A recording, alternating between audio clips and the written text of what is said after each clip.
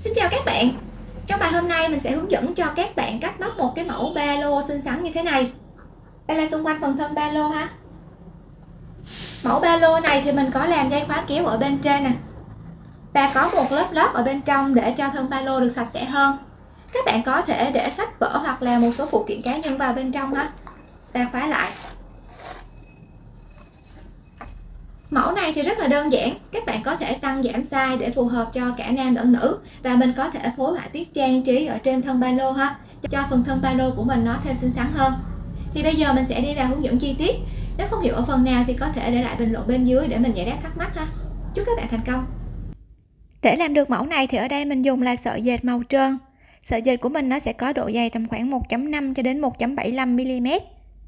Và kim móc ở đây mình dùng kim hai đầu ha một đầu 3 và một đầu 4 và ở đây mình dùng đầu số 4 nè. Đầu số 4 nó sẽ tương đương với kim 2,5 mm những bạn nào mà không có cái mẫu kim này có thể so sánh đầu kim các bạn đang có so với sợi len ha. Khi đưa vào so sánh đầu kim của mình nó sẽ có độ dày sắp xỉ bằng sợi len. Mũi móc của mình nó sẽ được chắc chắn hơn ha. Ngoài ra thì mình còn dùng thêm kéo cắt len nè. Kim khâu len ha để khâu các cái họa tiết. Các cái kim đánh dấu nè đối với những bạn nào mà không nhớ được mũi móc ha thước dây dùng để đo size nè. Khoen d thì mình sử dụng 3 cái ha. Càng cua sử dụng hai cái làm hai đầu của sợi dây. Khoen canh chỉnh thì mình sử dụng từ 1 cho đến hai cái để mình canh chỉnh độ dài sợi dây. Và để cho phần đáy được cứng cáp, các bạn sử dụng thêm cho mình một tấm canvas ha. Ở đây mình sử dụng canvas vuông và các bạn cắt theo cái size mà các bạn cần sử dụng nè. Miệng của ba lô thì sử dụng thêm cho mình một dây khóa kéo thì ở đây dây khóa kéo của mình là sử dụng dây khóa kéo nhựa ha. Chọn cho mình cái màu của khóa kéo nó tương tự giống như màu len mà các bạn móc ha. Để cho cái phần thân ba lô được sạch sẽ thì sử dụng cho mình thêm vải lót nè. Kim khâu tay bình thường ha và chỉ khâu tay bình thường. Các bạn cũng có thể sử dụng cho mình các cái kim đánh dấu hoặc là những cái kẹp à, giấy như thế này để mình có thể khâu được cái phần vải lót vào trong thân của ba lô ha đầu tiên thì cần cắt cho mình một tấm canvas với cái kích thước như thế này. Của mình chiều ngang là 22 cm và bề rộng ở đây là 8 cm ha. Hoặc là các bạn cũng có thể thay đổi cho mình kích thước của tấm canvas này để mình sử dụng làm đáy của ba lô nè. Sau đó tạo cho mình một nút. Móc và kéo len qua vòng tròn. Dùng tay kéo sợi len dài để thành một nút. Khi đã có được một nút rồi, tùy vào tay thợ móc, có thợ móc lỏng tay, chật tay các bạn sẽ móc cho mình cái xích đầu tiên, làm sao cho cái chiều dài này nó bằng với cái bề ngang của thấm canvas mà các bạn móc nè. Thì đối với mẫu này mình sẽ móc lên là 40 mũi móc xích. 2 3 4 5 6 7 8 9 10 khi đã có cho mình được 40 mũi móc xích, các bạn đo cho mình vào tấm canvas nè thì nó sẽ bằng với cái bề ngang của tấm canvas mà mình đang móc ha. Đây 22 cm nè. Tiếp đến là mình sẽ móc lên một mũi móc xích. Và đâm kim vào chân thứ 40 đó, móc một mũi móc đơn. Các bạn sẽ làm lần lượt tương tự cho các chân móc còn lại cho đến cuối hàng ha. Mỗi chân móc ta cứ móc một mũi móc đơn vào mỗi chân móc là được.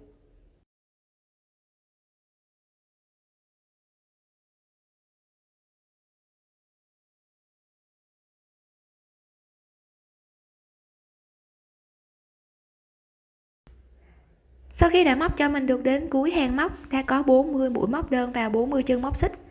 Đây, thì bề ngang của nó bằng với bề ngang của tấm canvas rồi nè. Tiếp tục móc lên một mũi móc xích và quay ngược đầu móc lại. Hàng móc thứ nhất, ta có 40 mũi móc tạo ra 40 chân cho vòng móc thứ hai. Thì hàng thứ hai các bạn cũng móc cho mình mỗi chân là một mũi móc đơn ha. Thì đây là chân đầu tiên nè, móc vào đây một mũi móc đơn.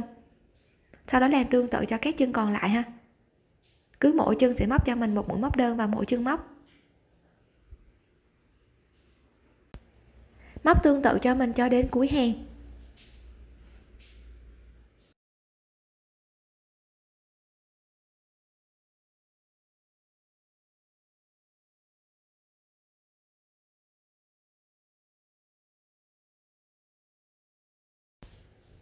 Sau khi đã hoàn tất cho mình được hàng móc thứ hai thì tiếp tục móc lên cho mình một mũi móc xích và quay ngược đầu móc lại.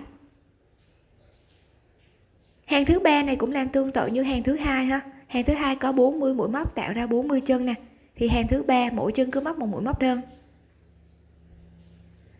Các bạn sẽ móc tương tự cho mình, cho các chân móc còn lại cho đến cuối hàng. Sau đó mình sẽ móc thêm nhiều hàng móc tương tự như vậy nữa, cho đến khi mình đạt được cái độ rộng của cái tấm mà mình móc ở đây nè. Nó sẽ bằng với cái độ rộng của tấm canvas mà các bạn móc thì mình cứ móc đều và không tăng cũng không giảm mũi ha. Sau khi đã móc cho mình thêm nhiều hàng móc, đối với size này mình móc lên tổng cộng là 17 hàng ha. Nó đã bằng với bề rộng của tấm canvas rồi. Và đây là bề ngang nè. Thì bây giờ mình sẽ tiến hành nẹp hai tấm lại để thành một khối với nhau ha. Ta sẽ nẹp xung quanh lại như thế này vào các cái mũi móc của cái phần ờ, móc len nè. Mình sẽ nẹp bề rộng trước nè, với bề rộng của tấm canvas các bạn sẽ đưa cho mình cái tấm canvas ra phía sau. Lúc này cái tấm đáy len của mình nó không có chân móc rõ ràng, mà nó chỉ có các cái chân móc mà ta móc mũi đó thôi ha. Thì đâm kim vào chân đầu tiên, đồng thời đâm kim vào cái khoảng trống đầu tiên của tấm canvas nè. Vào hai cái đường song song như thế này, móc vào một mũi móc đơn. Tiếp tục mình sẽ nẹp tương tự cho các chân móc còn lại với các cái khoảng trống của canvas ha.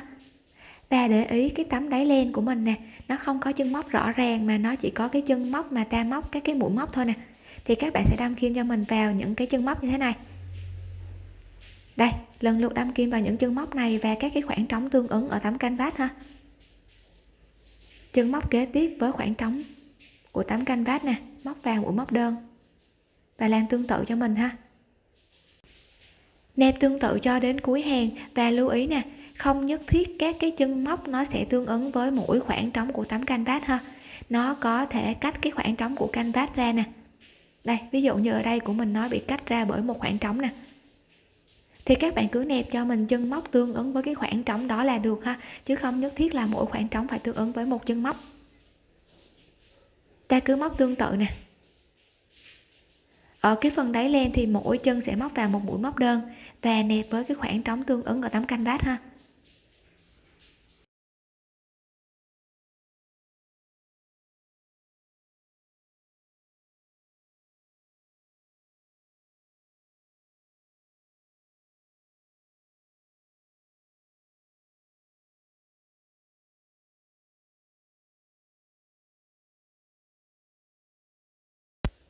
Lúc này mình đã nẹp đến hai cái khoảng cuối cùng rồi nè. Thì như vậy là đáy len với tấm canvas nó sẽ được nẹp vào với nhau như thế này ha, thành một khối thống nhất. Và các cái chân móc sẽ được nẹp vào các khoảng trống tương ứng ở tấm canvas nè. Đến điểm cuối cùng rồi thì chân móc cuối cùng này các bạn sẽ móc thêm cho mình hai mũi móc đơn vào cùng chân móc cuối cùng này nữa. Thì ta sẽ có 3 mũi móc đơn vào cái chân móc cuối cùng ha. Móc đơn thứ hai nè và mũi móc đơn thứ ba vào cái chân móc cuối cùng này luôn.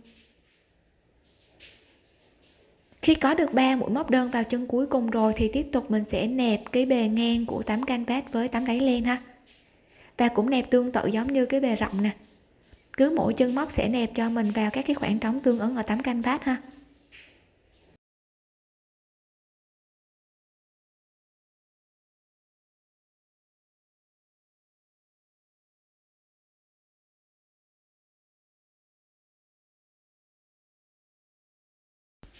Nẹp tương tự cho mình cho đến hết bề ngang của tấm canvas. Sau đó mình sẽ nẹp tiếp ở cái góc này ba mũi móc đơn vào cùng một cái góc này. Đến đây cũng ba mũi móc đơn ha. Và mình sẽ nẹp tương tự cho đến hết. Sau khi đã nẹp cho mình được tấm đáy len vào trong tấm canvas rồi, thành một khối thống nhất như thế này. Và để ý các cái mũi móc mà mình nẹp ở phần đáy len nè, nó sẽ tương ứng với các cái khoảng trống ở cái phần canvas. Và nó sẽ không có nhất thiết phải liên tiếp khoảng trống ha. Nó có thể cách nhau là một khoảng nè miễn làm sao cho mình nẹp vào các cái mũi tương ứng là được. Sau đó kết thúc ở chân móc đầu tiên, mình đã móc một mũi móc đơn rồi. Các bạn sẽ tiếp tục móc thêm cho mình hai mũi móc đơn vào chân đó. Như vậy là ở đây mình sẽ có được 3 mũi móc đơn vào cái chân móc cuối cùng này rồi ha. Kết thúc đâm kim vào chân mũi móc đơn đầu tiên. Móc vào đó một mũi giờ để ta kết thúc vòng.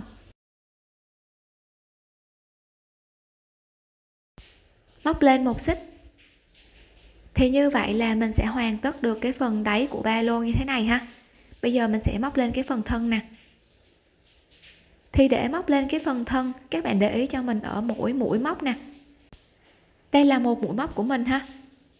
Nó sẽ có tương ứng nè. Một mũi nó sẽ có một đường móc bên trong và một đường móc ở bên ngoài.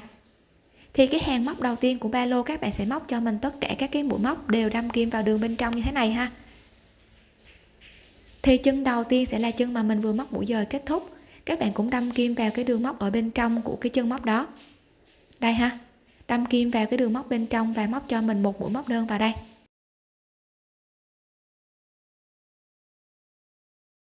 Sau đó móc tương tự cho các chân móc còn lại. Mỗi chân móc ta cứ móc một mũi móc đơn và đều đâm kim vào đường móc bên trong ha.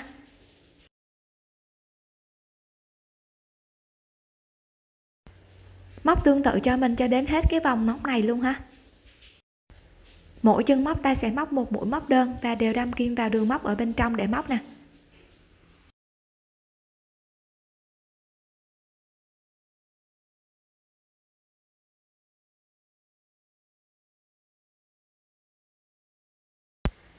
Sau khi đã móc cho mình được đến cái góc đầu tiên ở đây, thì ở đây mình có 3 mũi móc đơn vào cùng một chân móc các bạn cứ móc cho mình lần lượt, mỗi chân là một mũi móc đơn ha. Và ta cũng đâm kim vào đường móc ở bên trong nè. Cứ mỗi chân mình sẽ móc một mũi móc đơn và mình sẽ không tăng mũi ở góc này ha.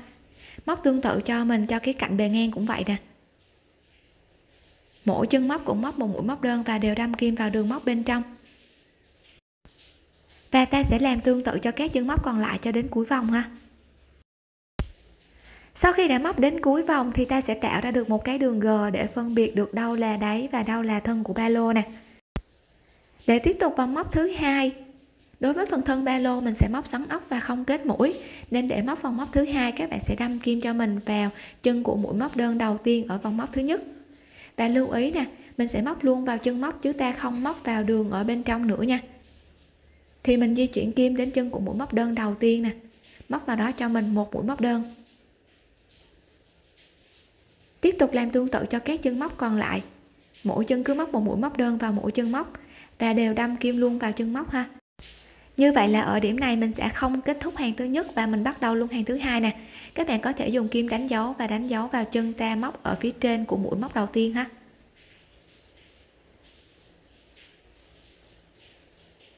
Sau đó mình sẽ móc tương tự cho các chân móc còn lại cho đến chân mà mình đánh dấu. Cứ mỗi chân móc ta sẽ móc một mũi móc đơn vào mỗi chân móc ha.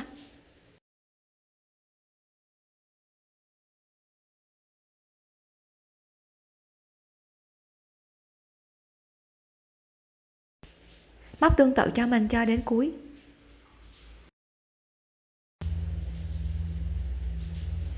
Sau khi đã móc cho mình được đến cuối vòng móc thì lúc này phần thân ba lô nó sẽ có được một cái độ cao như thế này ha. Tạo được một cái độ sâu cho cái thân của ba lô bên trong nè.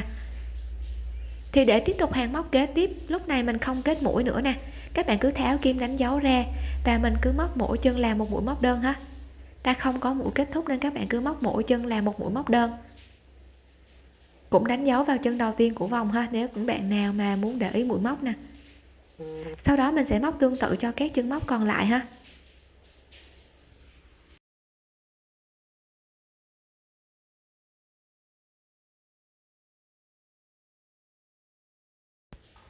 Móc sáng ốc tương tự thêm nhiều vòng móc như vậy nữa ha. Cho đến khi cái phần thân của ba lô nó có được một cái độ sâu và cái độ sâu cũng như là độ cao của cái phần thân dưới này, nó có thể bằng chiều cao một nửa so với bề ngang của thân ba lô nè. Thì đây là cái bề ngang ha, nó sẽ bằng một nửa nè.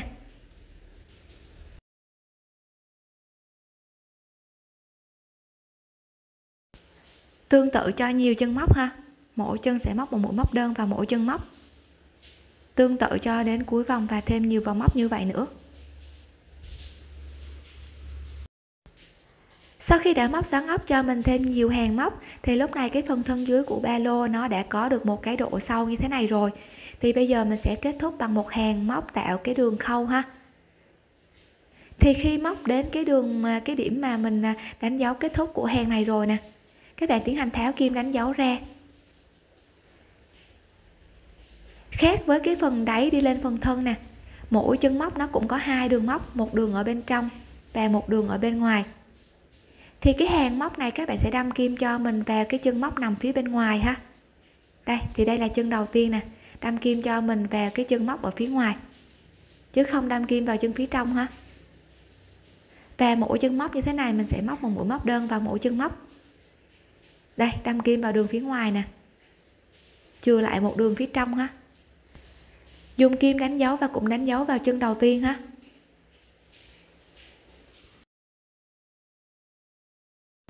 Sau đó móc tương tự cho các chân móc còn lại cho đến cuối. Cứ mỗi chân ta sẽ móc một mũi móc đơn và đều đâm kim vào cái đường móc ở bên ngoài nha.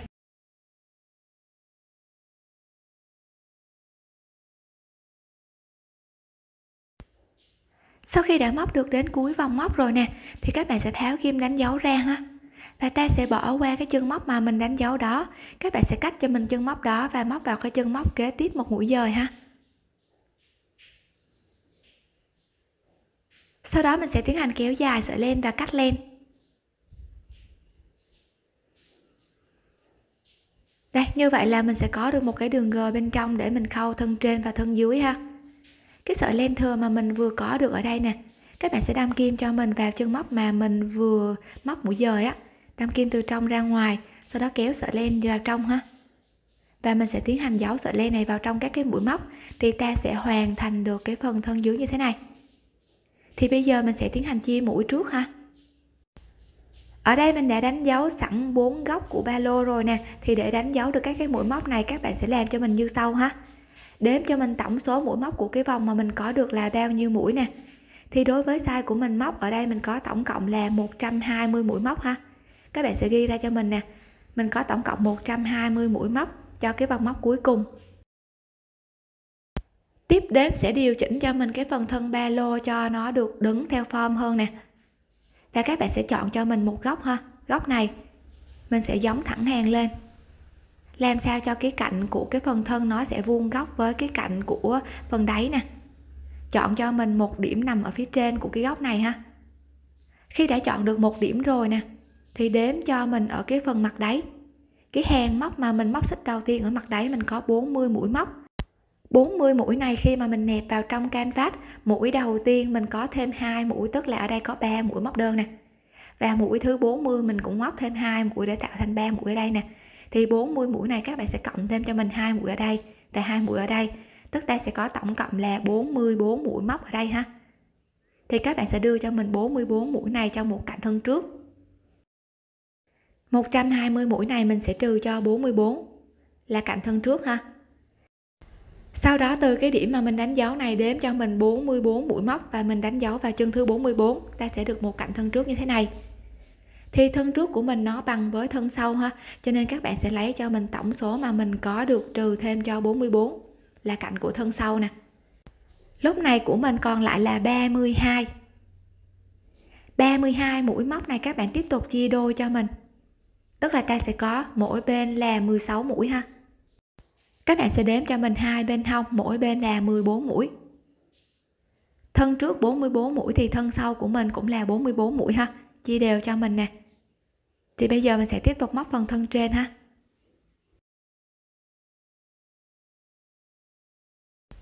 Đầu tiên tạo cho mình một nút. Móc và kéo len qua vòng tròn. Kéo sợi len dài để thành một nút.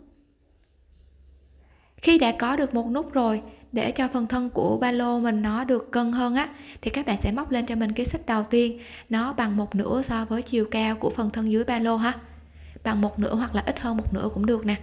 Thì ở đây mình sẽ móc bằng một nửa nha. Tương đương với 10 mũi móc xích. 1 2 3 4 5 6 7 8 9 và 10 khi có được 10 mũi móc xích rồi, tiếp tục móc lên một xích. Đâm kim vào chân thứ 10 móc một mũi móc đơn. Và ta sẽ làm lần lượt tương tự cho đến hết ha. Mỗi chân cứ móc cho mình một mũi móc đơn vào mỗi chân móc.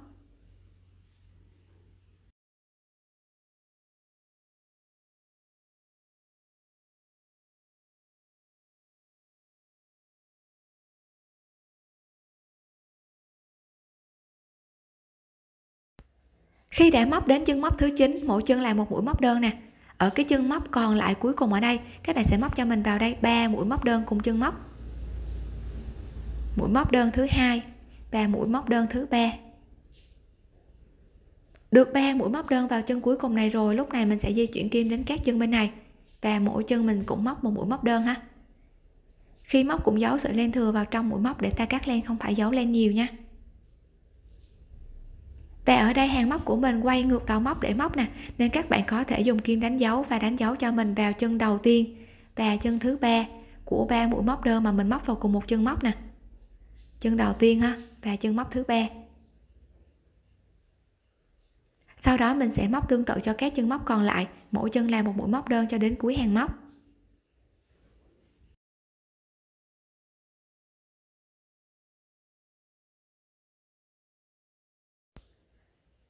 Sau khi đã móc được đến cuối hàng móc rồi nè, thì bây giờ mình sẽ tiếp tục móc lên một mũi móc xích và quay ngược đầu móc lại. Từ chân móc đầu tiên đến cái chân móc mà mình đánh dấu ở đây, mỗi chân cứ móc cho mình một mũi móc đơn vào mỗi chân móc ha. Thì đây sẽ là cái chân móc đầu tiên nè, móc cho mình vào chân đầu tiên một mũi móc đơn trước. Sau đó lần lượt móc tương tự cho các chân móc còn lại, cho đến chân móc đầu tiên mà mình đánh dấu ha.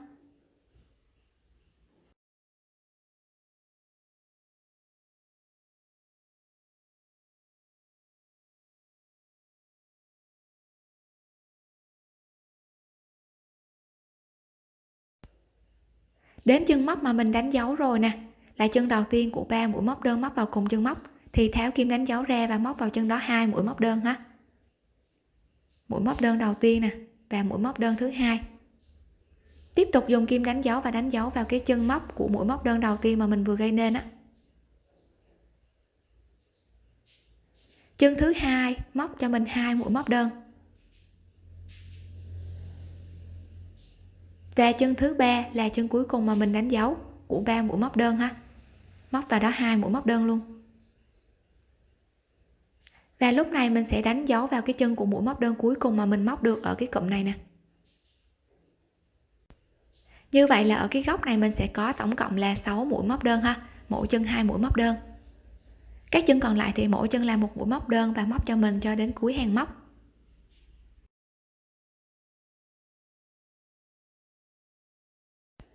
Khi đã móc được đến cuối hàng móc, tiếp tục móc lên cho mình một mũi móc xích và quay ngược đầu móc lại.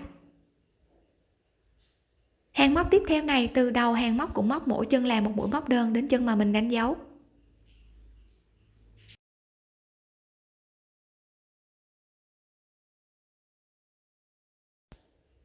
Khi đã móc cho mình được các cái mũi móc đơn cho đến chân móc đầu tiên mà mình đánh dấu ở đây, thì từ cái khoảng đánh dấu này đến khoảng đánh dấu thứ hai, các bạn sẽ móc cho mình cụm móc như sau tháo kim đánh dấu ra chân đầu tiên đã móc một mũi móc đơn. Đánh dấu lại cho mình ha. Được mũi móc đơn vào chân đầu tiên rồi, chân thứ hai móc hai mũi móc đơn cùng một chân móc. Một. Hai. Như vậy là ở đây mình sẽ có cụm móc như thế này ha. Một móc đơn xen hai móc đơn cùng chân móc. Các bạn sẽ móc tương tự cụm này cho mình cho đến cái chân móc cuối cùng mà mình đánh dấu ở đây. Ta sẽ có nè chân kế bên một mũi móc đơn. Thì xen kẽ sẽ là hai mũi móc đơn cùng chân móc. Mình sẽ có được cụm thứ hai như thế này. Tiếp tục cụm móc thứ ba. Một móc đơn. Lúc này hai móc đơn cùng chân móc nó sẽ nằm ở cái chân móc mà ta đánh dấu ở đây ha. Tháo kim đánh dấu ra nè. Móc vào đây hai mũi móc đơn. Và đánh dấu cho mình vào chân của mũi móc đơn cuối cùng mà mình móc được. Như vậy lúc này ở đây cái vòng này mình sẽ tăng được 3 mũi móc ha. Các chân còn lại, mỗi chân là một mũi móc đơn cho đến cuối hàng. Đây, cụm này sẽ tăng được 3 mũi này ta sẽ có 3 cụm liên tiếp. Và cái vòng tròn này nó đã có cái độ bo lại như thế này rồi ha. Móc cho mình tương tự cho đến cuối hàng.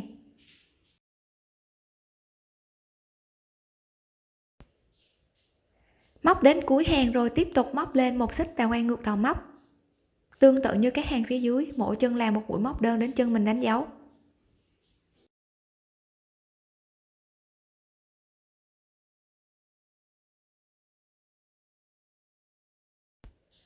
Đến chân mình đánh dấu rồi thì tiếp tục tháo kim đánh dấu ra. Từ giữa hai cái chân móc mà mình đánh dấu ở đây sẽ móc cho mình theo công thức như sau ha. Ta sẽ dựa vào hàng bên dưới nó. Hàng bên dưới của mình có một mũi móc đơn lẻ, mỗi chân xen hai mũi cùng chân nè thì hàng kế tiếp sẽ tăng cho mình số mũi móc đơn lẻ lên hai mũi. Hai chân liên tiếp, mỗi chân là một mũi ha. Đánh dấu vào chân đầu tiên. Tiếp tục chân thứ hai cũng móc một mũi nè. Có được hai mũi móc đơn vào hai chân liên tiếp, nhiều hơn hàng phía dưới một mũi thì chân kế tiếp móc hai mũi cùng chân. Như vậy là ta sẽ có được cụm móc như thế này ha. Hai mũi mỗi chân xen hai mũi cùng chân nè. Móc tương tự cho mình cho đến chân móc mình mình đang dấu bên này ta có hai chân liên tiếp, mỗi chân một mũi móc đơn. Chân thứ ba sẽ là hai mũi cùng chân móc. Ta có được cụm thứ hai ha. Cụm thứ ba nè, hai mũi mỗi chân. Tiếp tục hai mũi cùng chân sẽ là cái chân móc mà mình đánh dấu cuối cùng ở đây ha. Tháo kim đánh dấu ra, móc vào đây hai mũi móc đơn và đánh dấu lại vào cái chân móc đơn cuối cùng. Các chân còn lại, mỗi chân làm một mũi móc đơn cho đến cuối.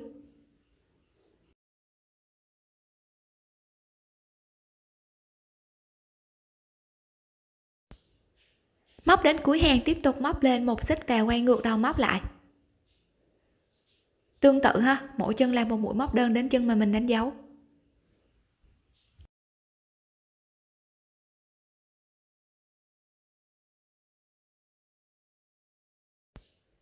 Sau khi đã móc cho mình được đến chân mà mình đánh dấu, thì tiếp tục cái khoảng giữa hai cái chân móc mà mình đánh dấu ở đây nè.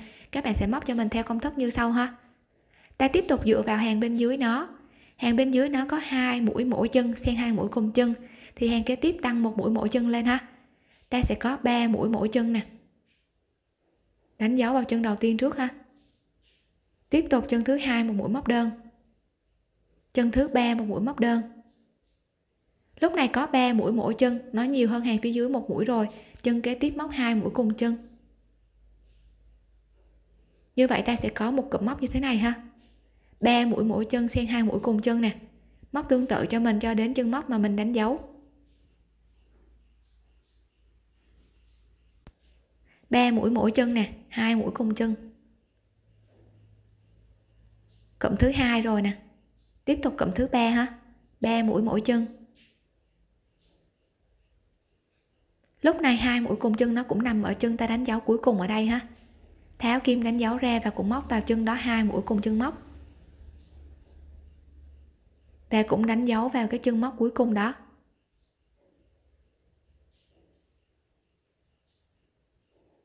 Các chân còn lại, mỗi chân là một mũi móc đơn cho đến hết. Các bạn sẽ móc cho mình cho đến hết hàng, sau đó móc thêm nhiều hàng móc tương tự như vậy nữa. Và các hàng móc kế tiếp cũng dựa cho mình vào hàng bên dưới nó ha và ta sẽ tăng số mũi móc đơn lẻ mỗi chân này lên một mũi theo từng hàng móc. Ví dụ ở đây là 3 mũi nè, thì kế tiếp sẽ là 4 mũi 5 mũi, vân vân ha. Xen kẽ là hai mũi cùng chân móc. Móc tương tự cho mình cho đến khi nó đạt được cái vòng tròn to bằng với cái kích thước bề rộng của cái ờ, mặt trước ở cái phần thân sau nè. Khi đo vào ha, thì nó sẽ rộng đến đây.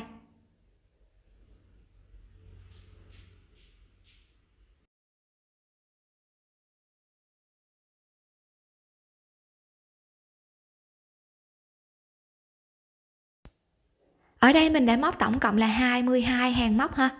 Và lưu ý ở cái phần thân trước, thân sau của mình nè, hàng móc của mình mình móc quay đầu như thế này. Thì ở cái cạnh dưới của mình sẽ có tổng cộng là 44 hàng móc.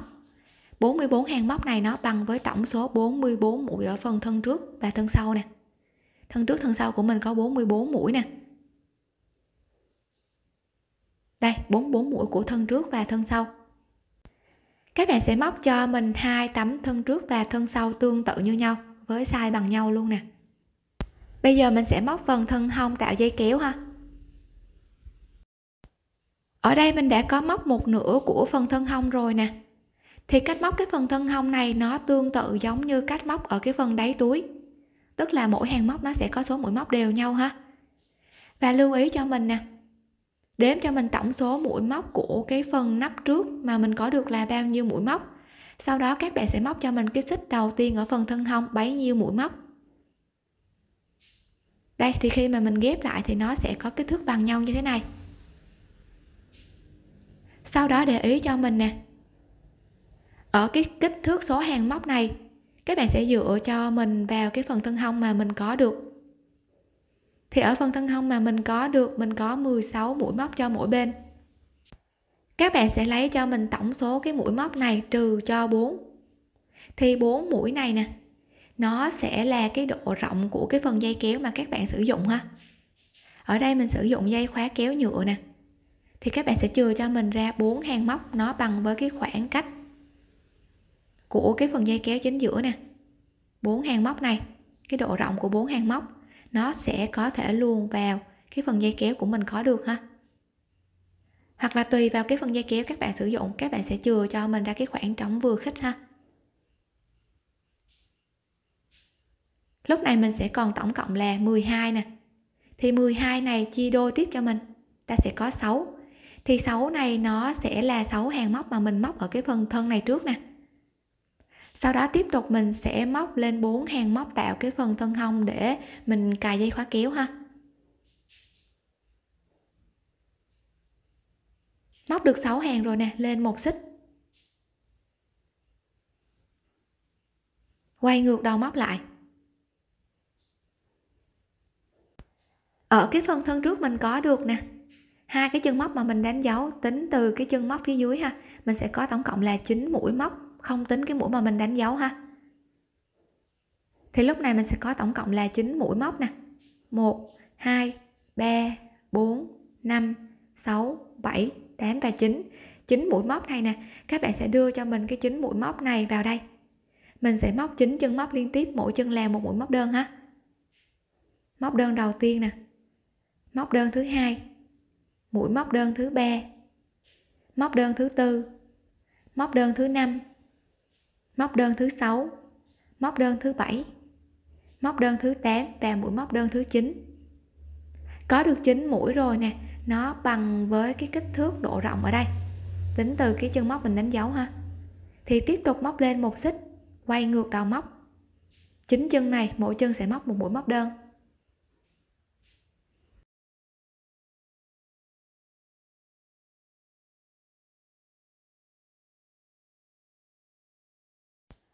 Tiếp tục móc lên một mũi móc xích và quay ngược đầu móc lại. Ta tiếp tục móc hàng thứ ba ha. Mỗi chân làm một mũi móc đơn.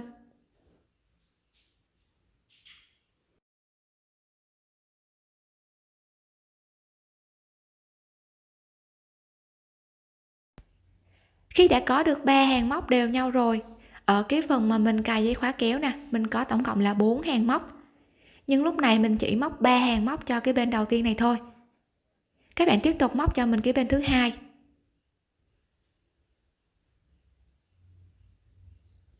Để móc bên thứ hai nè.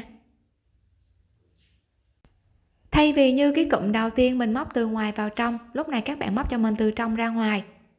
Đếm từ ngoài vào trong chín mũi móc và đâm kim vào chân thứ chín. Từ ờ, ngoài vào trong ha đâm kim vào chân thứ chín nè. Đưa rồi gen ra phía sau kéo len qua chân thứ 9 móc lên một xích, sau đó móc vào chân thứ 9 đó một mũi móc đơn. Và làm tương tự cho các chân móc còn lại cho đến cuối ha.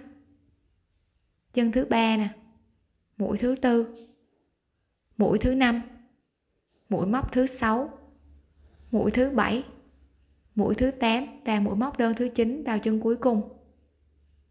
Được 9 mũi rồi, tiếp tục lên một xích, quay ngược đầu móc lại móc 9 chân ha, mỗi chân là một mũi móc đơn.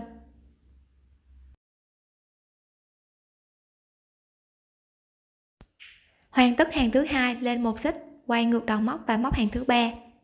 Mỗi chân một mũi móc đơn.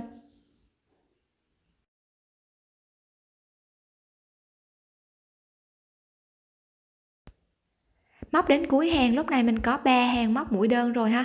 Bằng với 3 hàng móc của cái phần thân bên này rồi, thì tiếp tục móc lên một xích quay ngược đầu móc lại. Thì lúc này mình sẽ móc cái hàng móc thứ tư ha. Chín chân, mỗi chân là một mũi móc đơn nè.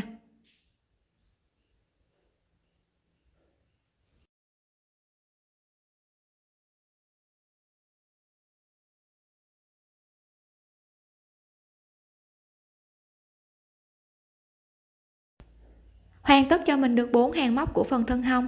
Thì tiếp tục móc lên cho mình một sợi dây móc xích bằng với số mũi móc mà mình có được ở hai cái khoảng mà mình chừa ra ở đây nè. Đây, khoảng này ha, thì các bạn sẽ móc cho mình cái số xích bằng với cái số mũi đó. 1 2 3 4 5 6 7 8 9 10 khi đã móc được sợi dây móc xích bằng với cái số mũi móc mà mình bỏ qua ở cái phần thân dưới nè. Khi nối lại với nhau nè.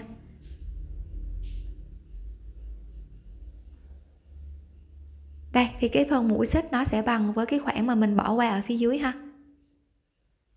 Thì lúc này tiếp tục các bạn sẽ hoàn tất cho mình hàng thứ tư ở phần thân còn lại. Mỗi chân một mũi móc đơn vào mỗi chân móc. Ta sẽ có 9 mũi móc đơn vào 9 chân ha khi móc nhớ giấu sợi len thừa vào trong mũi móc để khi cắt len không phải giấu len nhiều nha.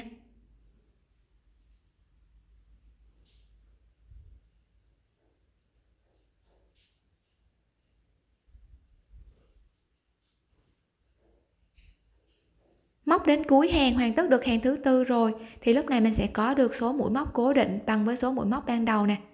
Móc lên một xích, quay ngược đầu móc lại sau đó các bạn sẽ móc cho mình thêm 6 hàng móc còn lại bằng với cái phần này ha. Thì bài hôm nay mình sẽ dừng lại ở đây ha. Ở bài sau mình sẽ hướng dẫn cho các bạn cách để khâu cái phần dây kéo, khâu lót cũng như là hoàn tất thân ba lô ha. Chúc các bạn thành công!